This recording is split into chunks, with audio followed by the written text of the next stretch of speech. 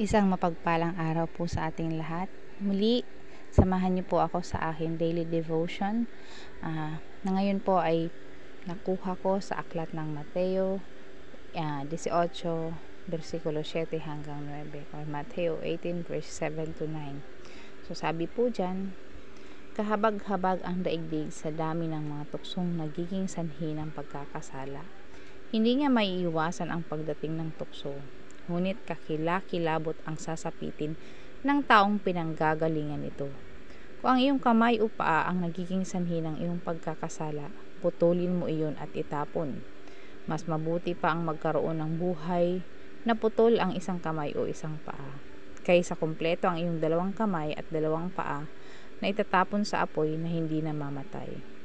Kung ang mata mo naman ang siyang nagiging sanhi ng iyong pagkakasala, dukutin mo ito at itapon mas mabuti pa ang magkaroon ng buhay na bulag ang isang mata kaysa may dalawang mata kang itapon sa apoy ng impyerno.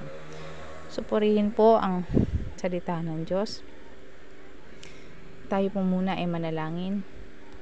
Lord, we praise you and we glorify your name. We thank you for all the blessings, O God, and we humbly bow down ourselves to you.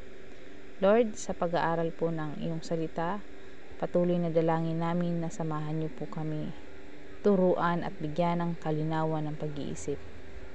Lord, matagpuan nga po namin ang tunay na kapayapaan sa aming buhay at dalangin po namin na magkaroon kami ng tunay na pagkatakot sa iyong pangalan. Patuloy na maunawaan namin ang bawat salita mo at maisa pamuhay po namin ito at mapalapit po kami sa iyo. Salamat po. Patuloy ka naming pupurihin at sasambahin sa pangalan ni Jesus. Amen. So, para po sa akin, pagkaka sa akin pagkakaunawa, sa panahon po natin ngayon, ay mas dumadami pa ang mga sanhi ng pagkakasala. Uh, uh, lahat ng tao, dahil sa mga bagay na nakikita, especially po sa social media, kung saan-saan na hindi na kaaya-aya.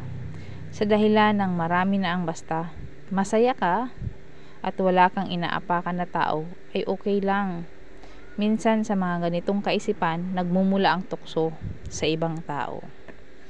Yung tipong hindi na isinasalang-ala ang kapakanan ng isip at damdamin ng iba. Hindi masama na maging malaya, tayong gawin lahat ng maisipan natin. Subalit iwasan naman natin magkasala ang iba dahil sa atin, sapagkat ikaw at ako ay may pananagutan sa isa't isa. Amen po.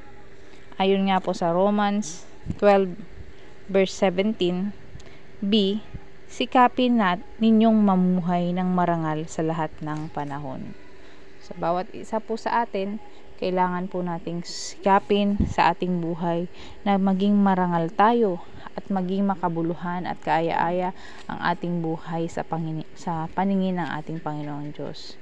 So, marami pong salamat at Pagpalain po tayo ng ating Diyos na buhay.